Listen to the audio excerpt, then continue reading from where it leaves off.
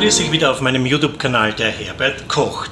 Heute möchte ich mit euch Topfenkugeln zubereiten, so ähnlich wie Topfenbuchteln. Dazu brauche ich einmal Topfen, wird in einen Kessel gegeben, Zucker,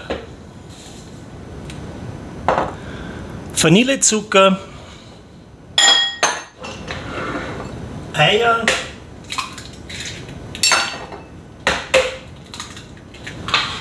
Schale einer Biozitrone, Obers und die zerlassene Butter.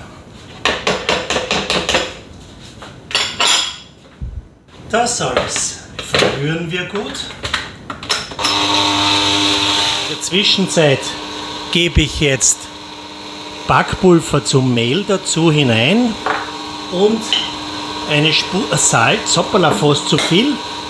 Und das Ganze verrühren wir dann gut. Inzwischen ist auch unser ähm, Masse gut cremig geworden und jetzt gebe ich das Mehl nach und nach dazu hinein. Ich habe auch den Knethaken jetzt eingespannt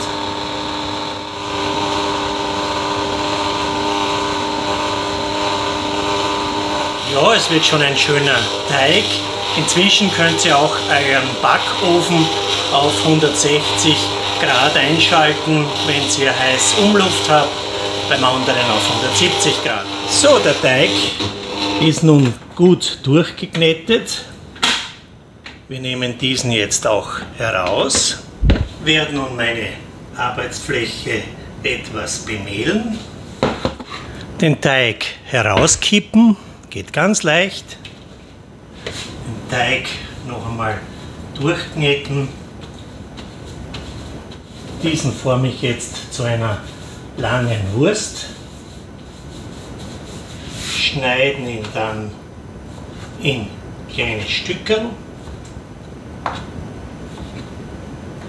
Ja, eine Form habe ich mir schon vorbereitet. Diese wird mit Butter ausgestrichen die Stücke platt gedrückt.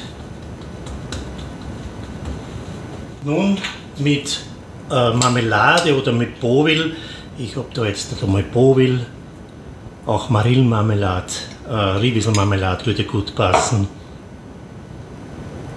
So wie Buchteln gefüllt. Gut zusammengeklappt und auf das befettete äh, Geschirr geben.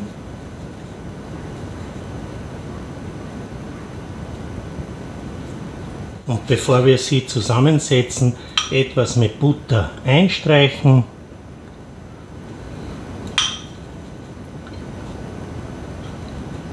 Und schon die nächsten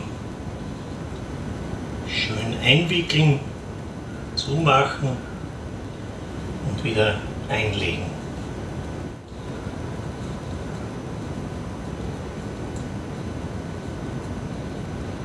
Nun die letzten paar werde ich jetzt mit Marillenmarmelade machen. So, das letzte noch hinein und fertig werden einmal unsere ähm, Topfenkugeln.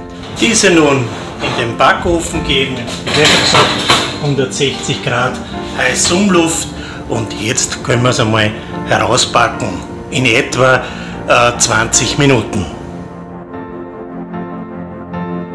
Nun, die 20 Minuten sind jetzt um, sind schon schön aufgegangen, aber ich glaube, ich lasse noch mindestens 5 Minuten drinnen, damit sie noch eine schöne Farbe kriegen.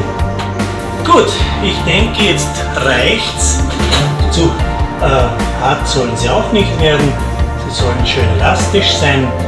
Ja, äh, Farbe haben sie auch angenommen. Nun fehlt nur mein Zucker. Und eine gute Vanillesauce passt auch gut dazu. Ja, ich bin somit am Ende. Ich wünsche euch beim Nachpacken gutes Gelingen. Ich bedanke mich fürs Einschalten und ich hoffe, wir sehen uns auch beim nächsten Video wieder.